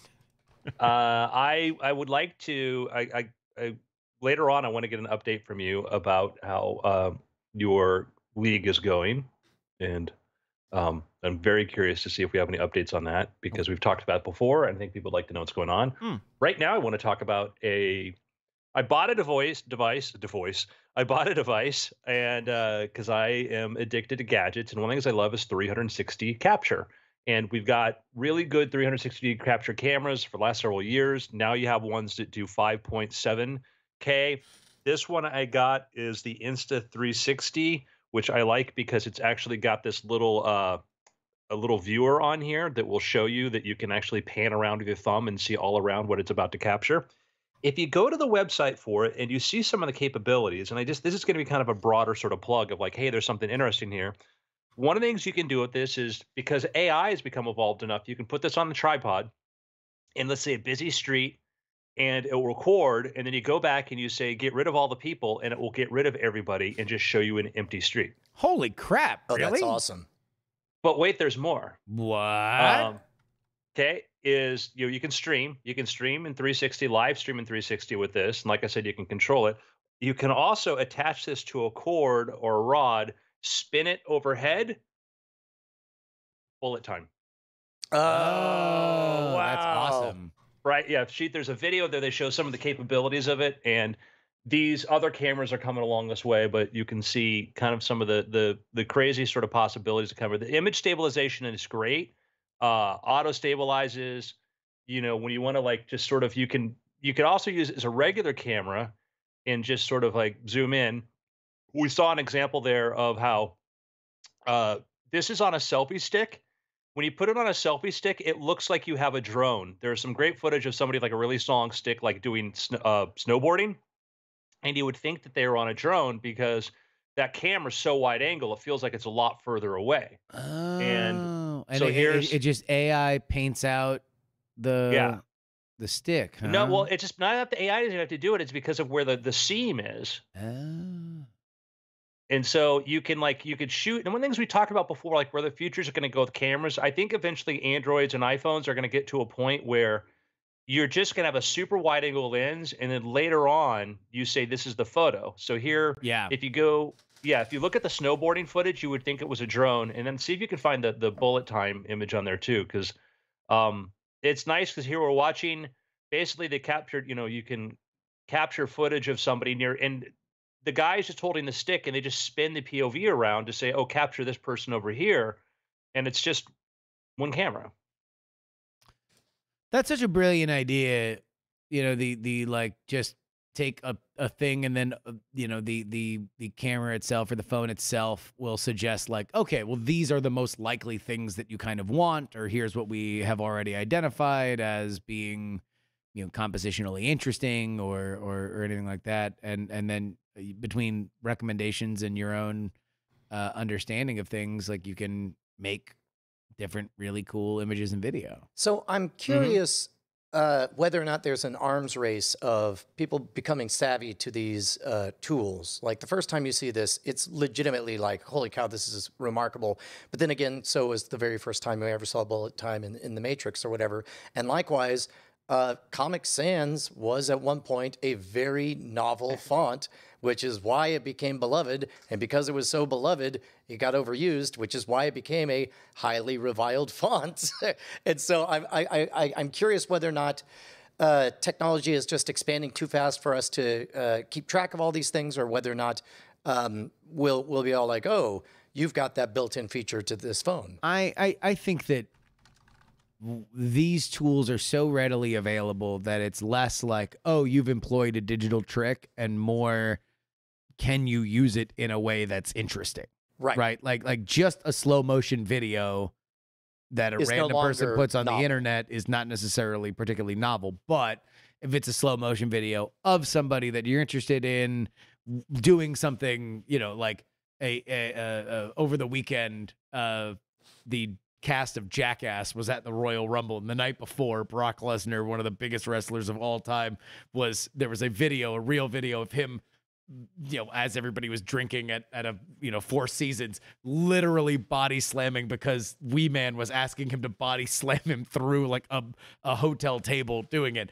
If that's in slow motion, I'm very excited. Right. If Yeah. a random person is giving me a slow motion video of their dog, I'm like, yeah, okay, whatever. Oh, I- I- wow, that, that that panting sure is slow. but I'm not. But I'm not like you know for uh, like I don't know. It, it, it's what can you do with it, and and so right. yeah. Yeah, I think I think yeah, to Brian, your point, like yeah, the the, the novelty of just it's a thing, it's gonna wear off fast. The the cool thing is that if you see like we saw like we saw some of the bullet time examples and other stuff where it's able to capture, you know, things, you're we're getting close to the point where we want to if you want to get into a really cool kind of VR world or ability to sort of capture things and you know your iPhone can do has a depth sensor in there that can capture three-dimensional objects and stuff and these things are getting better and better and better and you might be able to use a device and use ai to sort of syn- synthesize it. You might be able to do a thing where you just take an ai and you have enough data from there that it can reconstruct a scene in 3d which imagine like you're watching a sports game you know imagine you're watching something like oh we're going to put you on the field in the middle of this tackle you know we can put you into these places and we might get to a point where the way we watch things in the future might be a lot of mixed media Yeah. hopefully in a good way and not like in a jarring way like uh, the Eternals, where it jumps between formats back and forth, and you're like, "Why is my screen changing?" I mean, But- I could totally t- uh, see a world where, you know, especially at sporting events, where it's no longer feasible for people to individually direct camera shots or whatever, but you delegate entire packages to uh, AI bots that are constantly, you know, they're getting live stream data from all the camera, from all, ca- all the cameras and all the helmets, and it just auto stitches together a one, two, three, knowing that this will be a way that will convey a particular play, and it's like without without any human previewing it, the, it just cut to that package assembled by robot. Uh, I could totally Yeah. see. Yeah, you could probably, it's a very good point. You could probably train something right now on video feeds and calls to know when it's supposed to go to where it should go and be able to get that. So, kind of super cool. So, and I guess I guess once we get into the realm of AI, then we even get to the moment the ball leaves the quarterback's hand, uh, the the computer can run the the simple Newtonian physics of where it's going to go and where it needs to be to get the exact shot that no you know whereas humans have to follow the ball. Uh, the moment the ball is launched, the, the robot can already know exactly where the shot's going to be. yeah. Absolutely. There's uh, another Theta, which they had the Ricoh the Ricoh Theta cameras, which were pretty cool. They're coming out with one in like two months, which is another one, which is going to do. They show kind of like right on the box, like here's your Oculus Quest, and using viewing these 360 degree environments in there. If you've never looked at a really high quality 360 photo in VR, I really recommend it. It could be its own medium unto itself. It really can be quite engrossing to pull yourself into it. And there's cool tricks you can do now too, where you can make things near you actual three dimensional and things further away. Here, where yeah, we're looking at like a for like a living room setup, which for a realtor is probably a really good thing. But when you start getting into like some really interesting sort of photos, uh, it can be it just it's, it's there's something interesting about it. Like it's it's a thing that never got enough attention to it because one capturing these things was hard and sort of delivering it. But there could be a a really cool VR for Flickr or Instagram thing at, at some point in the future. But Yeah, it makes me think about like uh, we were just watching on uh, the video part of the feed, uh, uh, iJustine demonstrating some stuff, and the real star of the show is the fact that she's in Hawaii. you know, and it's like there's uh, much like we were talking about in Weird Things. Uh, ultimately, it's the story that's going to be king, not the the reader, whether it's a human or a tech technological lead. Yeah, exactly. Why why should I care about this? Oh, we're on a dog cam. Now I care. Right. Yeah, yeah. Um, so anyhow, I, there's something to watch, and like I said, I think eventually all phones are going to probably be able to do a form of this or do a really good 180 or whatever, and you're just you know, it'll it'll become so commonplace you won't even think about it. How much does that little doodad run you? They have a couple different ones. So the pricing, I think, I forgot what I paid. Uh, the let me look. Let's see the Insta one. I think it's like seven hundred or something. Insta 360 One X2 is uh, no, 438. Yeah, 438. Yeah. So you're looking that's that's certainly on the high end, you know, for for if you would think about it as like a a fun thing. Uh uh but if you're if you're doing any kind of video production, it seems like a like a fairly cool investment considering what you can get out of it if you do any any of those kind of event shots or any kind of travel shit. And compared to like a point and click camera, point and shoot camera, I mean that is. I guess in that that, that is that is their pitch, right? Is that like this is super lightweight and can do everything that a a you know uh, uh you know a, a, it is better than using your phone Yeah. And lighter than using another like like a DS. DSLR or something like that. Yeah. Yeah, it's a pretty good Yeah. pitch. That's interesting. Yeah, and when you start drilling into the features, what you can do, like the after the fact and whatnot, like uh, you know, when my fiance shoots movies, we're always taking set photos, and something like this is handy because I can just start just put the camera in the middle of the room, start snapping several photos, and I go like, oh, you know, here's our here's our AD, here's this person over here.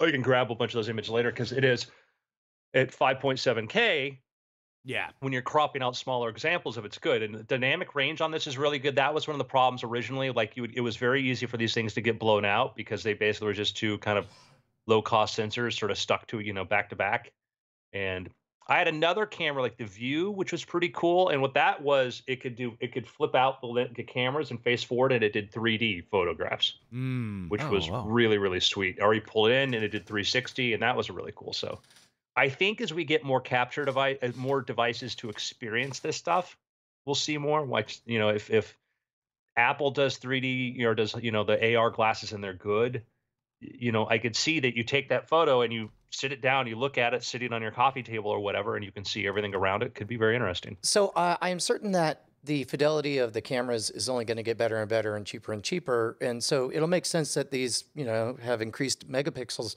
But I'm also equally curious once AI really gets a handle on the game in a world where we just saw the Get Back documentary, where uh, all of a sudden they're able to, you know, just look at your past catalog of photos. They're like, oh no, no, I get it. I, I I know what the Google Street View of this area looks like. I know what this looks like. I know what this looks like, and just just assemble that whole cloth with uh, uh, samples from you know 10, You- 20, 50 years ago. You could do that, and even like super resolution algorithms right now that you could run on your own computer are really good. And you could, you could take. Uh, we've think I think we've seen some examples before. People took like old TV shows like Babylon Five and stuff, and ran them through and created 4K versions. And if with these things, if you have a lot of data, like you could really, you could take this existing stuff, yeah, and you could bump that up a lot. And I tell people this, and they look at me funny, like, no, I'm like, like no, really, like the the algorithms now for bumping up, like taking something like I've had old photos of like that I have book covers and stuff that I couldn't find the higher res versions, and I put them through one of these algorithms, and I get a much bigger one. And I've had like media, you know, dealt with like, oh, we need a better quality. Okay, you can do this. No, we, that won't work. And I send them the higher res one. They're like, oh, this looks great. And I'm like, All I did was, I've done the exact same thing. where yes, it's so stupid. there's people in their heads go, no, it's not the same, and they're stuck in the Photoshop world and not realize, no, this is an algorithm that looks at skin textures and says, oh, there should be pores here or hair, and says, I know what hair is and that. So uh, these things keep, and every week, like I love to, if you want to find out like what's possible, like type in something like 2D to 3D photo, and then put the magic word GitHub Ah. onto your search query. And I I like doing background removal. I don't know if I showed either of you guys, but I made I've been working on a little side project, which is like to make like really great images. And one of the things I want to do is get rid of the backgrounds, right? There are services that you can use where you pay them 20 cents per picture and they'll use an AI to remove it. I found uh, an online, I, I found a, a GitHub repo of a library that I just run on a $10 server. And every time I send it a photo, it removes the background and this is you know for the for a plan with one company that would get me 30 photos a month i can do a million photos in that time period so there's yeah background there's uh uh, a couple different one of these things, which is weird because there are people who started companies to offer this as a service like a couple years ago, and now it's so easy. It's like a one-click kind of deploy that you could have your own platform to do it, which is the hard thing about building a business around AI. Oh, is that that it's always evolving and that uh, any minute suddenly you're, you Well, get you're like- outrun? yeah, oh, we'll offer this as a service because you need to do this. Cool. A year later, somebody comes out with a more efficient algorithm that runs on one PC, and the service where you're trying to charge people $500 a month for is free. Yeah. So. Uh, hey, as long as we're doing toy talk, uh, I think I mentioned before I got uh, that DJ, DJI FPV first person drone. Um, For the very first time, I got talked into trying it on in sport mode. I've only done normal, which is this very hand holdy. What's that? Is that a branch? Let's slow you down, buddy. Uh, whereas sport mode is pretty much the same beast, just with uh, fewer restrictions on there. So instead of a max speed of 31 miles an hour, now the new max speed is 60 miles an hour. Oh, and wow. you can really feel the difference. Now, if you go all the way to manual mode, which is where you could do, you know, uh, the loops and flips and all of the super tricky stuff, that goes up to 91 miles an hour. God But, damn. but that's uh, that's that's one of those like you want to log dozens, if not hundreds, of hours in the the flight simulator before you go messing around with that. But boy, it is it is just a treat. I'm I'm enjoying it more and more. That's awesome. Those things, it's just the, the rate at which they improve. The AI, like you talked about before, the, the ability to avoid collisions is is incredible. I watched a YouTube video of a guy that was experimenting with like uh, uh, I, a thing that I did not know is it early on in uh, aircraft design, somebody realized that like to prevent stall, if you have your wing is actually split and you have like a part of your wing here, so part of the air can goes through there, is you have you're less likely to stall. And I was watching a video they talk about, oh, this inventor so and so realized there was this a method to prevent you know wings from stalling. And I'm like, oh, ah, I wonder what happened. And they're like, yeah, you know, every airplane you fly in today, it's a big commercial airplane. Notice how the back part of it splits out and the top part comes up. Right? That's what it is. It's literally that split wing thing that he came up with. Wow. Um, because you ever notice you look out the like, why is my wing doing this? And that's to it's a and it's like I'm like, oh wow. And I, I watched like a you uh, hobbyist who built a air, uh, airplane with a very short takeoff. It was like three stacked wings, like really close together. They could go at like really ridiculous, like you know, like really slow, like 20 miles an hour or something like that, and not fall, or much slower than that for an RC plane. And, and but also what's cool is just that, oh yeah, I had it hit the waypoints, and you're watching this thing just run the perimeter and keep going around and around, and you're like, that's just like a hobby shop thing. It's just a you button you press now. Yeah. Yeah. That you know, Well, well, I mean, this this definitely you feel uh, you feel like a pilot uh, when when you're uh, at the controls on this one. yeah. I'd be curious to see what it'd be like with like VR. Uh, Yeah, so, uh, uh, as a matter of fact, that's one of the things when people try it, they uh, I have to train them because uh, they're so used to Oculus style, just being able to look around, but you can't do that. It's fixed. I mean, so so in fact, you it's you, you get motion sick if you try to look around while you're flying because the motion doesn't track with what you expect. And because there are I'd be- some drones that do that, right? Who Wait, do Yeah. Uh, uh, 360? yeah, we, we could- we Yeah. had uh, the the guy, the drone guy we had out here had one of those, right? Where you put on the head-mounted display, but it would also like could look, around. Uh, I think those were fixed as well, but I w it wouldn't surprise me at all if uh, if by now somebody has has uh, there is such a thing. Oh, oh, that's at least that's how I thought it worked. yeah. yeah, we could we could put the 360 camera on there too. You know, be fun. Yeah. You want to know what, how I thought it worked, uh, which is Bryce's marbles. I thought Well- that I thought I thought Bryce worked these worked these marbs. The Wow. League of, League of Fun Games, and I'm looking at some of the merchandise here, by the way. Yeah, I'm gonna Uh, knock the- it off. It's called concussion marbles. Merble, Merblas. Mer- Mer- marbles. marbles, marbles. Uh, yeah, we we finished up our second season of LFG Marbles, um, of uh, what back in December or so, and uh, we we got five winners, and it was great. I uh, am am really digging. Um, I, I think we made a few changes with how some of the points work. We're giving out more points to more players, um, and I think the big the big transition from season one to season two, both of which happened in the last calendar year, was was changing those point systems and really just trying to decomplicate some of the way that the the, the, the stream works. Like we were giving out a lot of like bonus points and a lot of ad hoc points that just were really distracting for me as like a one man um, host. Um, and so like getting rid of those, and you know, there wasn't, there didn't end up being like complaints or why, did you get rid of this bonus point? Like, no, they people didn't didn't care about that. Um, and so yeah, I, I I I I think the second season went really well, and I don't think we're gonna make a lot of changes for season three. So we'll probably get started with that here in February. Nice. Yeah. Um, but uh, but yeah, I I we're we're kind of in an in another sort of groove. Like we took we took a good break, um, probably f- four to six months between season one and season two, to kind of figure out changing points and changing the system and all. But I I don't know. I feel like uh, we're in we're in a good spot with it. So Have have you and I, I don't want to blurse anything by accidentally saying an idea that runs away, but um, uh, have you considered doing a season with teams where people could do five man teams? I've thought about teams, and it's Like especially in that in the world of F one and everything you've learned Right. about how fun that could be. I right, and and that gets very.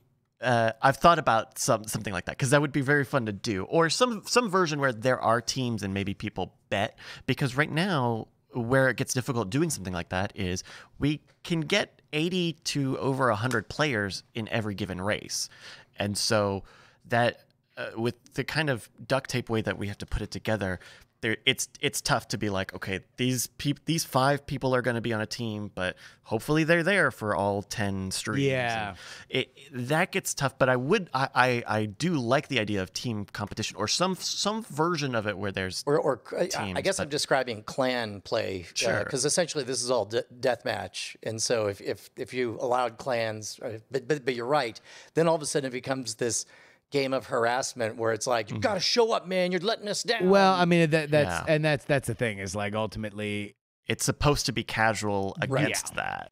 Uh, Yeah. it's So supposed to be show up, play the game, we're all having a good time. But I would like to figure out a way to do where where maybe there's a way where instead of like 10 teams or teams of 5 there are like two big teams and there's like and you uh, you know at the start of the season maybe you pick a team or you're randomly assigned a team and then you know the the the, left team and the right team are doing their own random separate thing like they I, I've, I've been thinking about that because i would like to see other ways to mess with the format and, and try other things that you don't do in the game itself. Would, would it be possible to, and again, this is me blursing it again, uh, would it be possible to set up a script where the moment they enter a match, they're assigned an arch nemesis? And then it's uh, uh, maybe like tournament style. You have winners who take on, you know, almost like a Final Four bracket kind of thing for That- like somebody who has, maybe you don't win every race, but you've defeated every one of your opponents. That would be interesting because that is something that does pop up organically from from different groups of people who join in and play and say, well, oh well, you know, did I beat Sailman? Because they this person knows Sailman and said they want to beat Sailman, and so I, I could see some something like that. I w- and and that's the kind of things that I would like. I think uh, when when I was being able to call your shot would be really fun. If if you were able to just say i'm going to be blank and then that could even track of like who's the person that w- people want to beat the most and and did he beat them? And i think that that's that's fun. Or maybe maybe you designate like one uh, uh, black sheep that everyone's supposed to hate, like one heel. That everybody's like, well, at least I beat blank. oh that would be fun. So you have like the a bonus the bonus ball a random black sheep every every race, Yeah. and whoever beats that, per- oh, that would be fun. That would be so. like, so there's like, a lot like, of kind of like yeah. a luchador mask character who comes in and be like, you're like nobody knows who it is. It could- well could be that that would be that would we be could- really fun if you all right so you randomly named somebody that was playing Yeah. right and so for everybody there is a win or loss condition did i finish above or behind this person and Right. for the person you can say all right your job is to come ahead of 50% of the pack.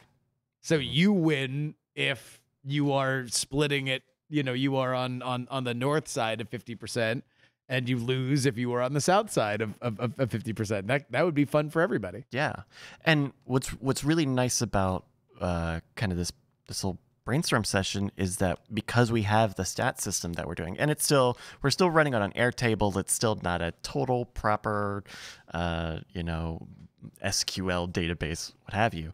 Um, a lot of that stuff is is not impossible. Like before we had done, you know, these seasons of marbles, they that probably would have not been even possible. It would have meant we're too far away from it. But like, I'm thinking about what you're talking about. I'm thinking about the way that we capture stats and and some of the data, and we we could do things like that. And uh, and And I'm just sorry, I'm stuck on this heel idea because what you could do is you could have just a a, a, mask and a green screen, uh, and you know, like before we start this next race, we have a special special message from you know uh, from from the El Rayo X, and he's just like, uh, I hate all you guys, you all suck, nobody's gonna beat me, and you're like, oh, well, he's a real piece of work that one, and then and then he competes, Oh. and then so everyone you know, just.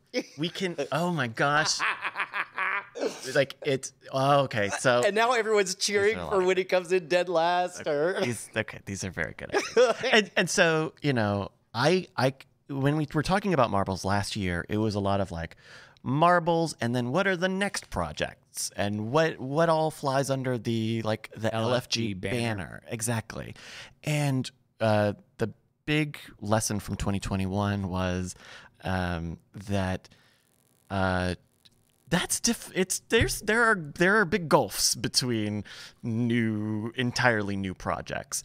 And you know some of the things that you're talking about have been things i was thinking about for like okay well it's coming up to the end of the year. What if we did a mini season? Or what if we did five days in a row and then that's its own little competition? And i like the idea of like taking having like the main like having proper marbles and then like alternate marbles, bizarro marbles, um, as like mini things or little interludes because um, it, it's it's just been a little bit of a time thing. It's like I would love to do. Um, I have a bunch of ideas for different things, but right now I have to be able to slot. I have to develop them in a way that I can actually make progress with the time I have each week.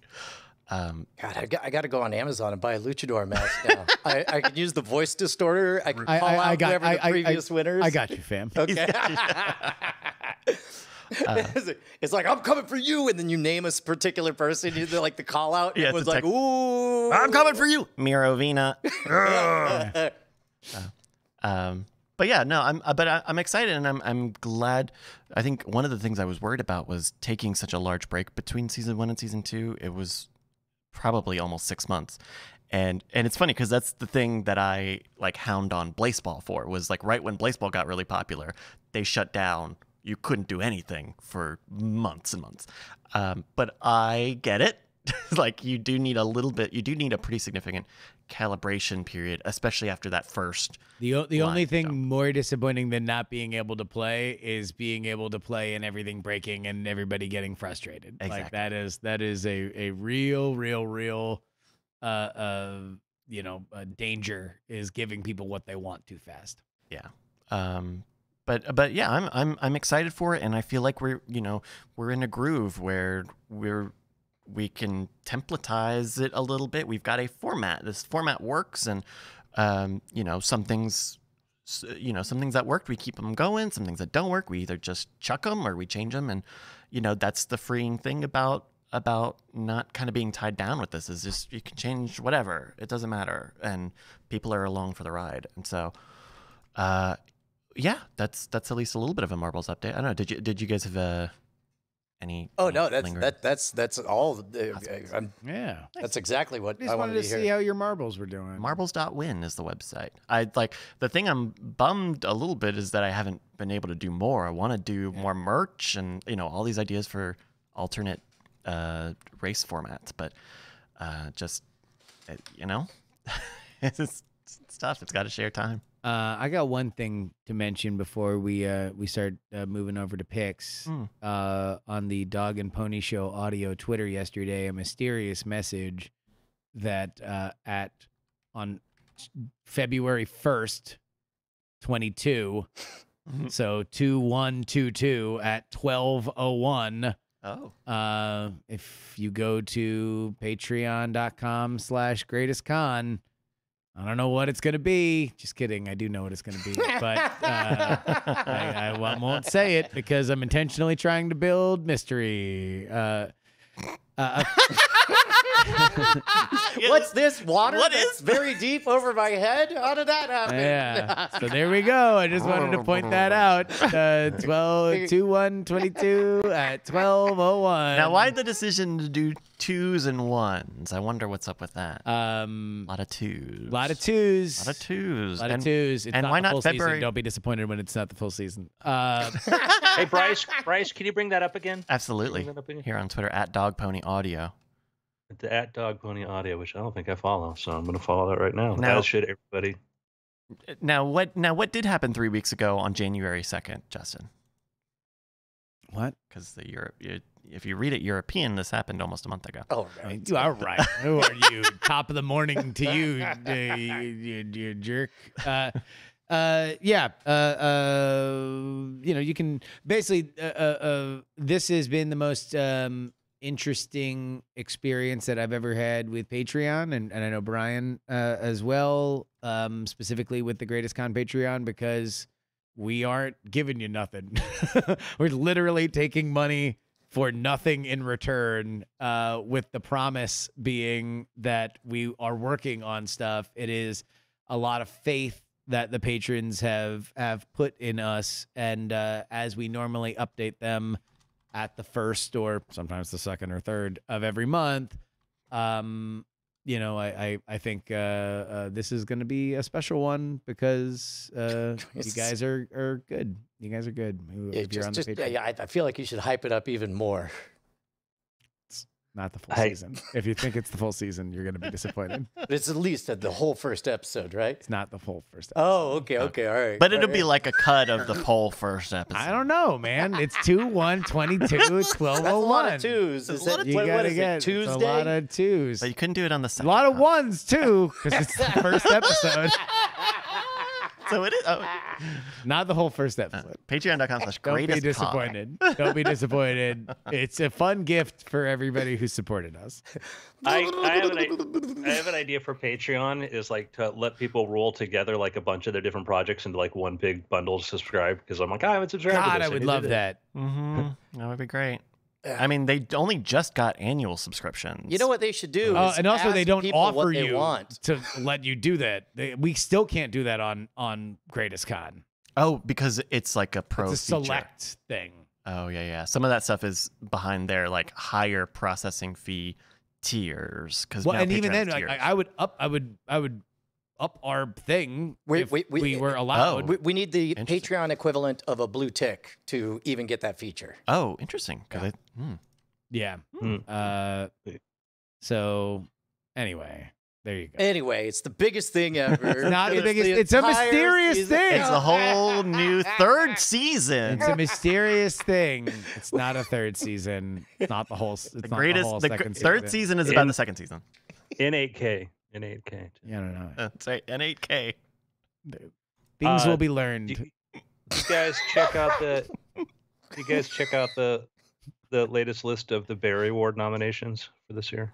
no. Oh, And that's yeah, I was. you were what? I'm sorry. I just wonder if you just if you just saw The that Barry list that came out. Awards. So, yeah, that's, uh, Nominations. sorry. This is for for last year for for 2021. No, it's for 1972. Yes, it's Okay. Well, I'm trying to cover from Bryce finds the thing. I don't just snap at me. Bryce, I was covered by playing Dracula. yeah. Uh, oh, I'm, I'm looking here. Best paperback original. Now that says Black Coral Andrew Mayne. What? What? I had no idea. I had no idea. Congratulations, man. That's incredible. Congrats. Thank you, thank you. Some very good company there. So, uh, yeah, that's Deadly Pleasures. They've been doing this for several years. They do their list of their their uh, picks of the year. So, uh, Black Coral, which is a sequel to The Girl Beneath the Sea, is up for Best Paperback Original. For those of you keeping track, my sequels have a really high hit rate for getting nominations for either Thriller or Edgar, and this is would be my first Barry nomination. So, um, That's incredible. And these are for um, mysteries, murder mysteries, the, Yeah, the Barry mystery Awards. thrillers, Mystery yeah. Mystery thrillers, thrillers. yeah. Awesome. That's con- congratulations. And that's that's, That's some old big. gross stuff, man. Those those guys have been around for a while, so that is that is awesome. yeah, got uh, some other people up for like Stephen King. you know. Whatever. Mm, That Hey old man, you got to make way for some amateurs in there too. I know. Yeah, exactly. But anyhow, very flattering, very very cool. So uh, Congrats. just bring it up. Do you know when the ceremony, when you might, if you win, maybe? Yeah, they do it. They do it at BoucherCon, which is this really big kind of like mystery conference, which is going to be in Minneapolis in September. Oh, great. Uh, Cool. So that's a In September. Been yeah, been to BoucherCon before. Yeah. Wait a minute. That's that's that's some lead time on the nomination and, and, and the Well, people award. I mean, they gotta got they got to read They- all they- the books. They take it Oh, they still serious. have I to- assume. Yeah, Oh crap. That would There's be that would be voting, kind of crass to, to give everyone like one week. well, no, I mean, I think like like with like Oscar stuff, like usually it's like you're watching it, and then like the Yeah. subsection of the like the nominations are from. from within, so they Yeah. presumably have already watched. you know, that's why they do all the for your consideration. And Uh, but hell yeah, That's great, Andrew. it's great. Thank you. Thank you very much. I'm sorry that the lead time's too long, Justin. I'll- I'll- I'm not saying it's too long. I mean, geez. But- I- but- but- I- I'm but- just saying it's not as short as the time between now and 12 1. but the but the nomination is for the whole book, right? Not uh, or not just, not just the the, whole book. first part of the, the first whole chapter. book, Brian. I'm a professional. Who knows? Who put knows? It's a mystery. I put out the entire thing because I'm a pro and confident in what I do. You don't do it week over week like Playboy does? No, God, no. No, No, for the articles. no. Because they used to serialize I fiction. mean, Exactly. really, literally now is the only reason to read that magazine. Yeah, pretty much. yeah. Uh, picks. Uh, uh, uh, uh, I guess as far as Popeye, the content Popeye goes, cartoon, because that was a great impression. uh, finally playing catch up on Peacemaker. It's fun and funny and Oh, good. yeah. Peacemaker rules. Peacemaker's It's just awesome. So good. Chekhov's chainsaw. Yeah.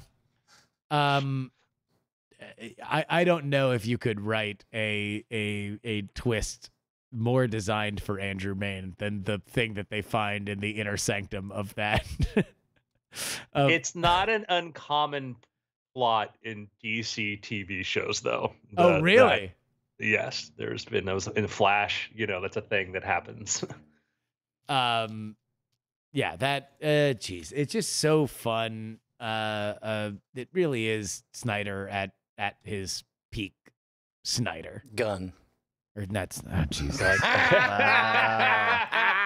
The It's best part Peak is I really- Snyder. the other guy it's not snyder it's the opposite of snyder well i'm on fire today friends you know when you got it you got it and uh, boy, am I just I'm, I'm on fire, friends. Get away from the hot hand.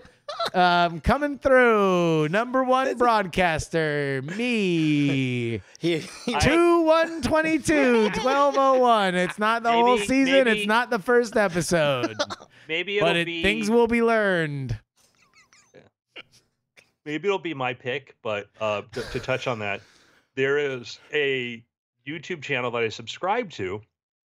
I subscribe to several ones that like get into comic book history because like I actually like it's for some reason like comic books and video games. I kind of just I like listening to people talk about them sometimes more than like reading or playing them, which is probably makes me very weird. But uh, Oh no, I'm I'm very much the same. I think uh, uh, Yeah. that th- those were my favorite uh, Smodcast episodes, where for the entire length of time it would take to watch a Harry Potter movie, I would just Yeah. hear Kevin Smith describe a Harry Potter movie, Yeah. which I enjoyed very much.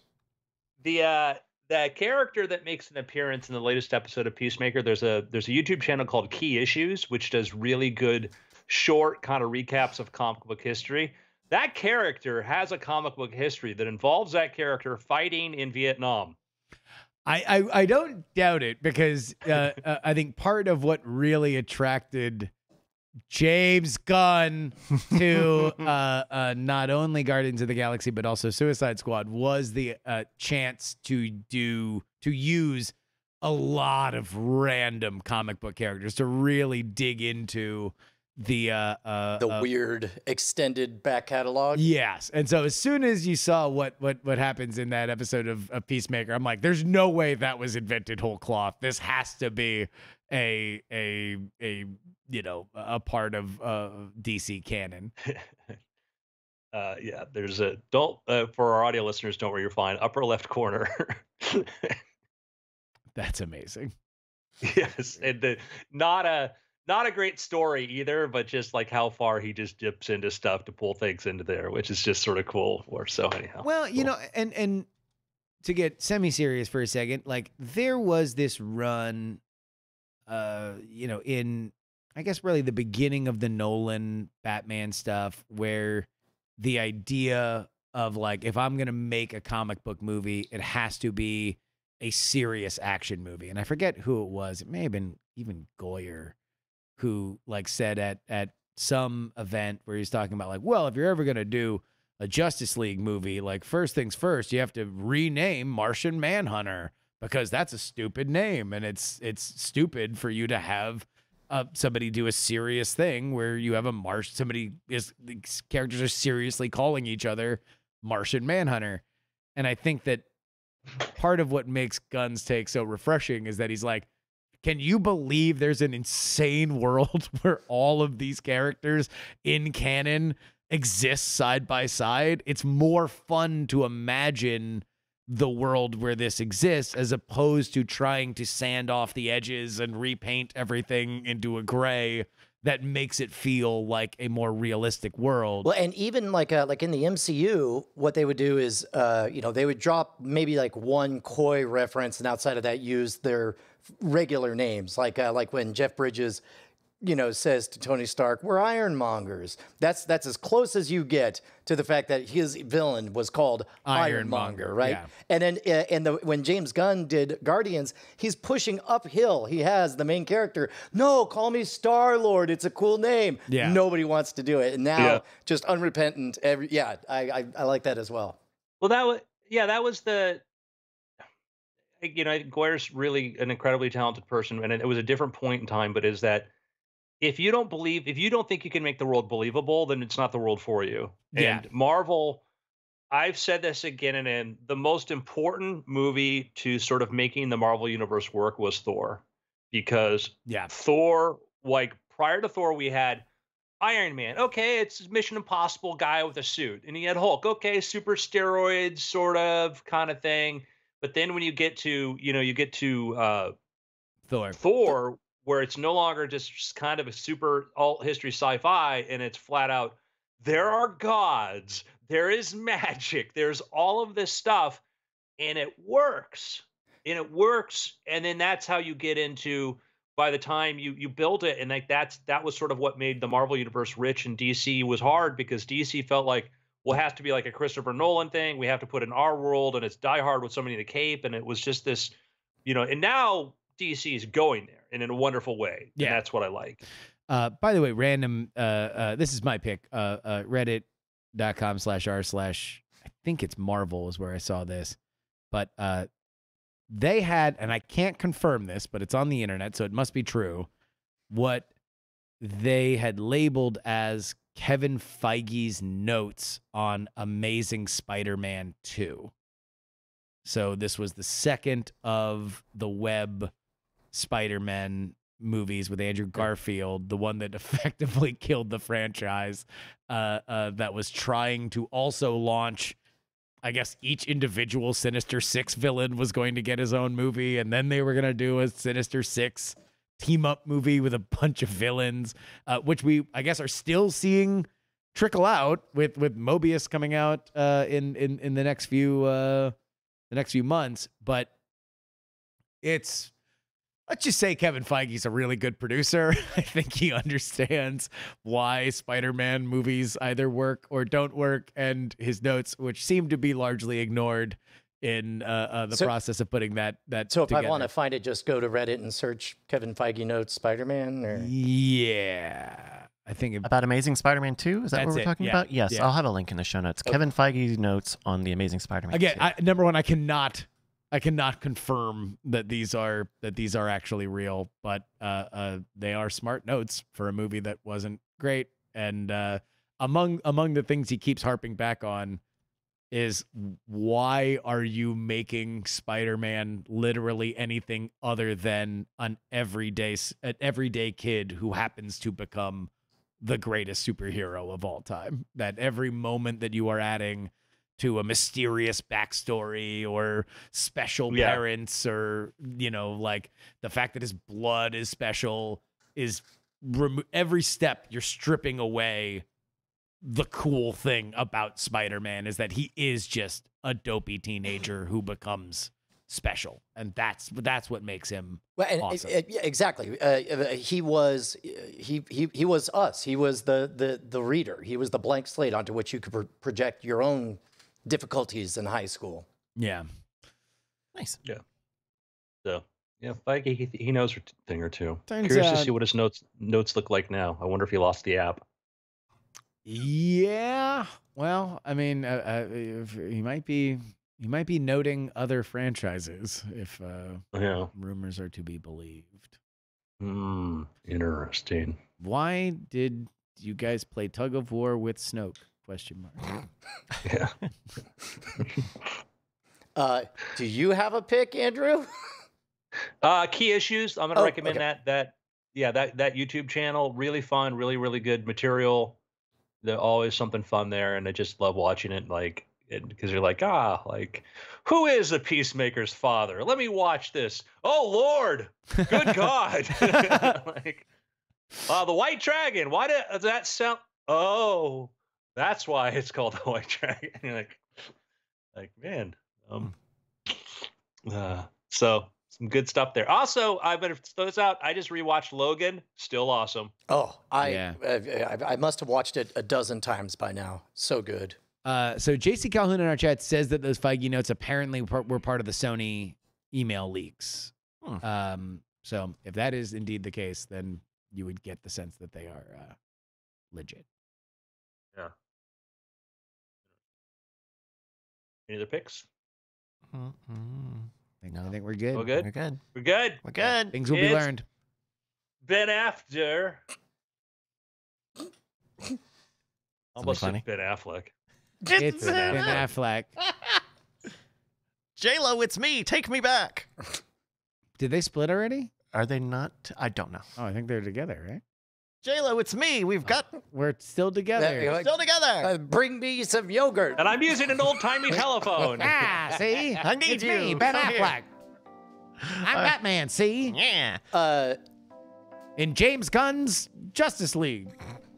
Andrew, I See, I rewatched it. last night. Uh, I rewatched Paddington 2.